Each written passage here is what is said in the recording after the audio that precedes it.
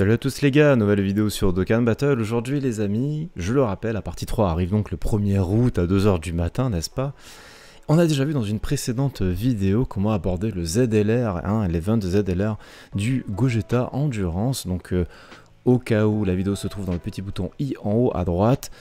Euh, et donc aujourd'hui, eh bien, comme vous le savez, les deux LR des 3 ans passent en ZLR, on va passer au ZLR de Végétaux Intelligence. Alors comme dans la première vidéo, on va regarder très rapidement ce que fait la carte. On va voir plus ou moins le glow-up que lui fait prendre l'extrême, euh, enfin l'éveil Z, pardon, enfin l'éveil euh, extrême Z suprême. Voilà, l'éveil suprême, on dit en français. Je, me mélange les pinceaux avec l'anglais. Bref, on s'en fout. Et donc du coup, on va voir comment on peut aborder ce Z battle là et quelle team on peut faire. Une team bien sûr de numéro 10 et une team même 2 voire même 3 il y même plusieurs teams alternatifs. Avant que la vidéo commence, et si tu es nouveau sur la chaîne, je t'invite à laisser le petit pouce bleu et à t'abonner à la chaîne. YouTube, si le contenu te plaît, ça va de soi. N'hésite pas non plus à me suivre sur Twitch. Tous les lives se font sur Twitch, tous les liens sont dans la description de la vidéo. Donc dans cette vidéo, je vais tenter une nouvelle fois de vous guider pour le team building, mais aussi, eh bien, vous montrer des alternatives pour aborder l'extreme Z Battle de Végétaux LR des 3 ans. Donc alors déjà, encore une fois, disclaimer, c'est très important à dire, j'ai pas forcément testé toutes ces teams. Hein, je le rappelle, mon compte Jap n'est pas forcément ultra développé, pas autant que mon compte global. Il y a énormément d'unités que je n'ai pas, il y a énormément d'unités aussi free to play que je n'ai pas eu le temps de farmer tout simplement. Donc, ça peut ne pas passer du premier coup. Mais Dokkan Battle c'est la RNG, il faut aussi tryhard, il faut aussi essayer plusieurs fois. Et je suis quand même convaincu de la synergie de ces teams, de ces cartes, et je pense qu'il y a quand même quelque chose à faire. Voilà. Donc, seconde partie, on va passer à Végéto LR Intelligence. Végéto LR Intelligence, comme d'habitude, c'est comme Gogeta. Il a un Z Battle qui lui est dédié, 34 DS, il me semble, à récupérer, ainsi que pas mal de sorts de potentiel, et en tout 5 Daikai, pardon, Intelligence pour le passer SP25. Donc ici on a bien sa news, voilà, hein, pour information. Et ici encore une fois, nous avons des stats. Et comme c'est en japonais, nous allons nous rendre sur le Wikia pour regarder les stats directement ici. Et qu'est-ce qu'on peut voir ici? Avant l'éveil Z, une fois qu'il n'est pas fusionné entre guillemets en végétaux, une fois qu'il n'a pas utilisé Potala, eh bien c'est qui plus 3 170% de stats et défense 130% pour euh, Potala, 90% pour le type intelligence, euh, très bien, dégâts gigantesques, dégâts titanesques, augmente, augmente pardon, l'attaque de 30% pendant un tour. Attaque défense 120%, qui plus 2 en plus par sphère de Kirenbo obtenu et fusionne avec les Potala. Très bien. Maintenant qu'il est passé, enfin qu'il va passer, euh, ZLR, eh bien ça va être qui plus 3 180% de stats pour Potala et qui plus 3 120% de stats pour le type intelligence. Encore une fois, c'est très bon pour le Battlefield, il ne faut surtout pas sous-estimer euh, ceci, ça peut être vraiment très utile si on part en team monotype. Augmente l'attaque et la def pendant un tour à hauteur, je crois, de 30%, c'est indiqué en bas. C'est ça, 30%. Euh, très bien. Voilà. Et augmente l'attaque et la def pendant un tour. Donc ça reste dégâts gigantesques, dégâts titanesques. Mais là, on va proc, stack, attaque et def pendant un tour, exactement comme Gogeta. Je rappelle, ce sont des cartes miroirs. Voilà. Attaque et défense plus 180%. Une chance sur 3 de faire un crit. Une chance sur 3 d'esquiver. Et qui plus 2 à chaque sphère de Ki Rainbow obtenue. Donc en gros Ki plus 3 quand on prend une sphère de Ki Rainbow. Donc là, euh, une chance sur 3 de proc le crit, une chance sur 3 d'esquiver. Ça c'est quand même extrêmement fort. C'est quand même très très bon. Ça, c'est ça typiquement en, Battle Road, c'est vraiment fumé. Une fois qu'il est en Super Vegito, qu'est-ce qu'il proposait avant son éveil Z? Bon, les leaders qui ne changent pas, très bien. Ici, il donnait attaque plus 30% pendant un tour à tous les alliés. C'est pas mal. Ça aurait été bien de donner de la def, mais enfin bon, c'est pas mal. Il recover tous les HP, il contre les attaques normales et il contre très vigoureusement. C'est-à-dire qu'en gros, il va les encaisser puis il va contrer. Voilà. Attaque défense en 50%, qui plus 3, en gros qui plus 4 quand il prend une sphère de Kirenbo, c'est ça que ça veut dire. En tout. Une fois qu'il passe ZLR, ça devient intéressant. Augmente l'attaque et la def pendant un tour, 30%. Et sur la seconde spé, augmente de 50% la def pendant un tour. Et il donne toujours attaque plus 30% pendant un tour pour tous les alliés. Faut le jouer bien évidemment dans la rotation, c'est-à-dire en première ou en deuxième position. Comme ça, eh bien, les attaquants derrière proc 30% euh, de stats en attaque. Et ça, c'est quand même vachement cool. Bref, en tout cas, ça ne change pas par rapport à avant. Ici, il recover tous les HP, il passe à attaque et défense plus 200% comme Gogeta.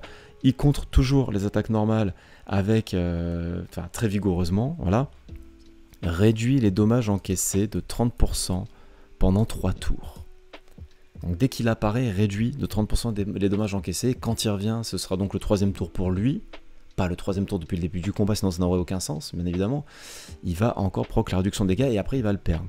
Il va le perdre puisque à partir du quatrième tour, jusqu'à la fin du combat, donc il aura 15% de réduction de dégâts. Je rappelle que 15% de réduction de dégâts, si tu prends un dragon, ça fait 50% de réduction de dégâts, c'est vraiment très fort. Malgré tout, ça reste bon. Il a le contre, il a les dégâts réduits encaissés de 30% pendant 3 tours et 15% pendant la fin du combat et qui plus 4 à chaque sphère de Kirenbo obtenue. Donc là, c'est vraiment, c'est vraiment très très intéressant. Si tu proc la transformation en red zone, tu peux proc du coup le Senzu puisqu'il va se régénérer complètement. Et euh, si tu as gardé tes items pour la fin, si tu es sur la fin, mettons, de ta run de red zone, bah tu prends ton item oui sous ton dragon et il prendra pas de dégâts, ou du moins pas beaucoup de dégâts du moins, parce que je rappelle quand même qu'il a attaque et défense plus 200% et qu'il prend des stats quand même sur l'aspect s'il part en ultime. Avec un petit peu de sphère de ki Rainbow, ça peut devenir vraiment très intéressant. Voilà pour ce qui est de la carte rapidement. Maintenant la catégorie pour briser la barrière. La catégorie c'est dernier atout, c'est pas comme Gogeta. Gogeta, il y a un seul leader, c'est le leader des 7 ans. T'es un peu dans la sauce si tu l'as pas, mais on a vu, il y avait des alternatives. Ici, c'est pareil.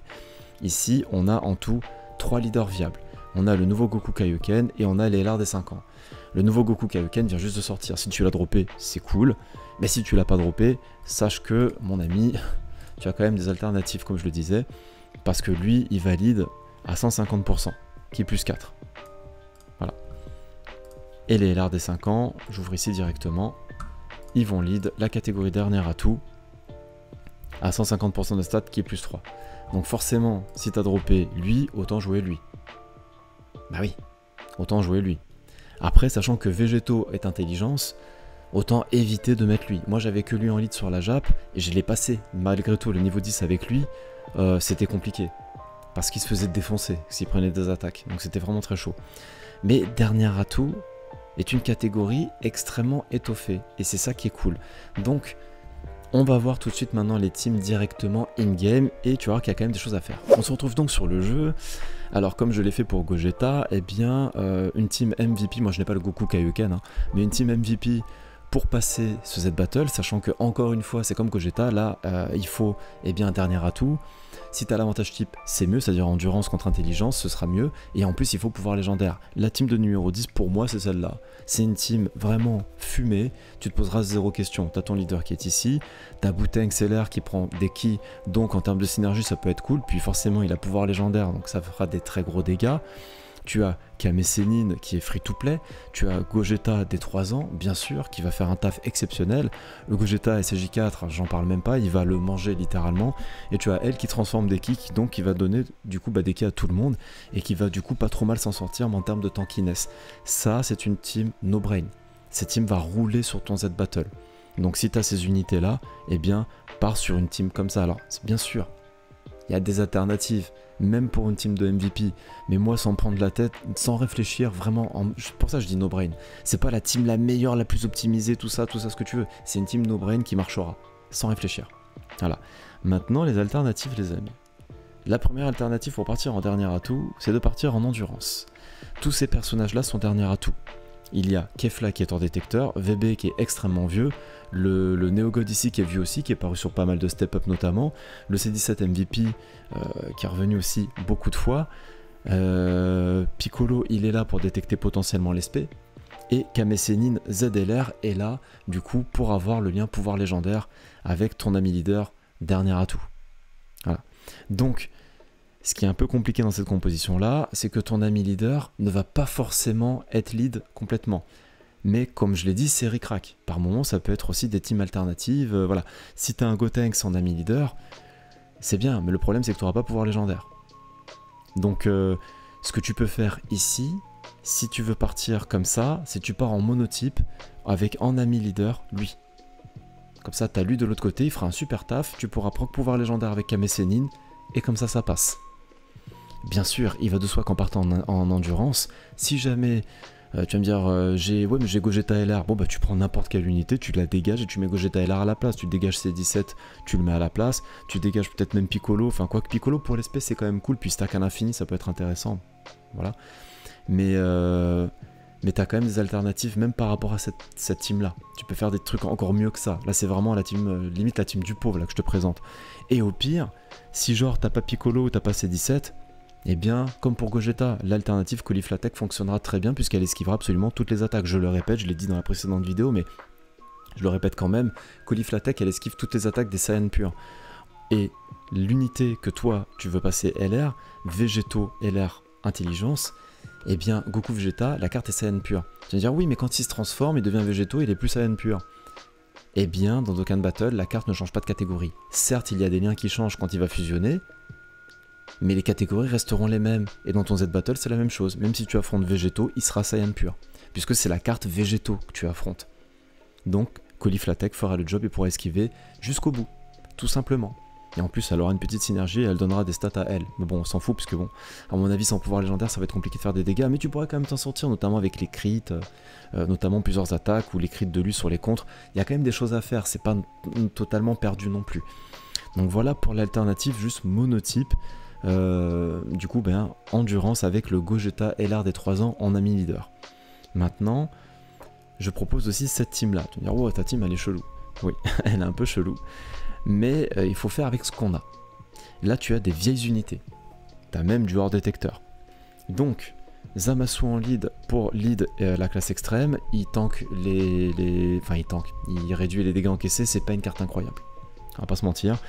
Par contre, il va pouvoir lead certaines unités qui, elles, peuvent être sympas. Notamment, eh bien, Boutenks. Boutenks est revenu pas mal de fois. Il était encore sur les portails des 7 ans. Si jamais tu l'as, tu peux faire une team comme ça. Ça peut être assez intéressant.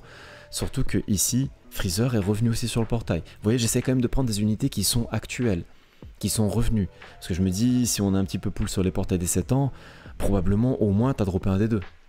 Enfin, j'espère.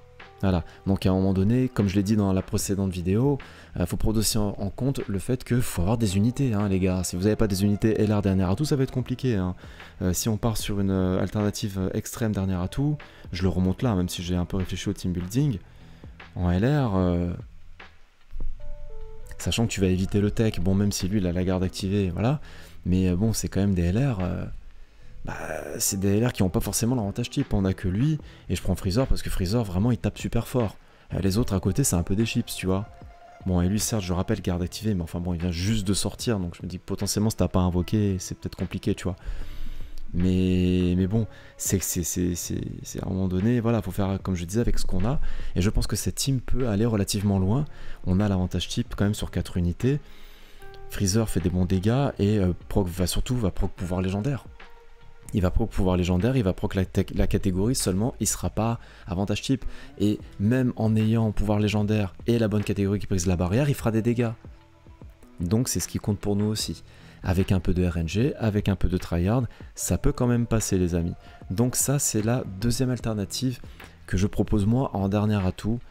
C'est la partie extrême quasiment avec full endurance, le lead de Zamasu et le freezer ici pour faire des dégâts avec le lien pouvoir légendaire. La dernière team que je vais te présenter c'est celle-ci. Alors là je préviens tout de suite, c'est un petit peu la team du pauvre, voilà. On va pas se mentir. Euh, c'est un peu plus chaud, tu vas me dire que ma team elle est vraiment dégueulasse. Mais en même temps, euh, c'est compliqué. C'est compliqué parce que euh, passer un moment dernier atout LR, c'est un petit peu chaud. surtout quand on veut faire des teams vraiment alternatives. Et si on n'a pas les grosses unités, c'est très compliqué. Donc avec cette team là, la strat en fait c'est de partir en avantage type, donc t'es full hors détecteur ici, sur ces trois unités là, t'as l'avantage type, t'as la catégorie qui brise la barrière, donc au moins c'est déjà ça, euh, t'as le Goku ici qui est pièce rouge, hein, voilà, donc euh, je me dis que potentiellement il pourra faire quelques petits dégâts s'il crit ou quoi, et ici tu vas partir avec en ami leader soit Kame Sennin, t'as deux alternatives, hein. soit Kame soit le Goku des 1000 jours, LR ou au mieux forcément ZLR. Hein, si quelqu'un ça va trouver un Goku des 1000 jours ZLR, donc avec 2000 jours de connexion, tu peux tenter de le prendre en ami leader pour passer. Sinon avec, avec Akame ça passera aussi. L'avantage c'est que ici tu vas pouvoir proc pouvoir légendaire. Tu vas me dire mais oui mais il faut le Goku des 1000 jours. Et je vais te dire mais oui mais à un moment donné il faut des, il faut des unités. On est obligé. Parce que euh, là c'est vraiment, là, je me répète c'est vraiment la, pire team du monde ça. Mais ça je le testerai quand même. Hein. Je le testerai quand même. Je suis pas convaincu à 100% que ça peut passer mais si on tryhard un peu, il y a peut-être moyen de faire quelque chose. Voilà, il y a peut-être moyen de faire quelque chose. On essaie vraiment de racler au fond de la box. Après, il va de soi que si tu n'as pas lui, par exemple, tu prends Coliflatek. Si t'as pas lui, tu prends Coliflatek à la place. Hein. Tu vois, tu peux toujours remplacer un slot par Coliflatek, elle esquivera tout. Moins, ça te fait un slot safe, comme je dis toujours. Et en ami leader, dans ce cas-là, tu pourras pas prendre Kame Senin, puisqu'il pourra pas prendre la synergie tous les deux, vu que c'est la même unité. Ils, partageront pas le lien pouvoir légendaire pour faire les dégâts. Dans ce cas-là, bah, tu, trouveras forcément des Goku au moins des 1000 jours de l'autre côté. Ça va être tendu, ça va être tendu. Et, ça, je crois que c'est vraiment la première composition que je vais essayer une fois que j'aurai passé le niveau 10 classique avec ma team euh, de MVP. Parce que je pense qu'il y a vraiment un vrai vrai défi à faire avec une team aussi euh, tordue que celle-là. Voilà, donc en gros, résumé très rapide, la team de numéro 10, dernière toi avec le leader qui va bien, ou alors le, le Goku Kaioken qui vient de sortir, ah, tu gagneras qui plus 1, c'est quand même cool. Ici, ça va casser des bouches, tu vas rouler sur l'event. Alternative en type super endurance avec Gogeta LR des 3 ans en ami leader, tu proc pouvoir légendaire avec lui. C'est pas mal, t'as du contre, t'as de l'esquive, t'as de la détection de spé, team très complète. Ça peut rouler aussi sur la game. Alternative avec la team extrême, peut-être un peu plus tendue, notamment avec Zamasu qui va se prendre tarif. Mais là au moins tu proc pouvoir légendaire avec lui et, euh, et du coup, il y a quand même quelque chose à faire de ce côté-là aussi, je trouve. Voilà. Euh, et, enfin la team École de la Tortue, encore une fois, dans les trois alternatives sans les MVP, Coliflatech fera le job pour remplacer un slot les amis. On arrive à la fin de cette vidéo, j'espère vraiment qu'elle vous aura été utile, j'espère que vous allez rouler sur euh, ce Z-Battle pour passer votre Gogeta Endurance, euh, votre Végéto pardon, LR Intelligence ZLR. Euh, et, voilà, donc si vous avez des questions, vous laissez en commentaire bien évidemment. Si la vidéo vous a plu, n'hésitez pas à laisser un petit pouce bleu, à vous abonner à la chaîne YouTube, à me suivre sur Twitch. Tous les lives se font sur Twitch. Je mets tous les liens dans la description de la vidéo. Sur ce, prenez soin de vous, passez une excellente journée. Et on se retrouve très vite sur la chaîne pour une nouvelle vidéo sur Dokkan Battle. Ciao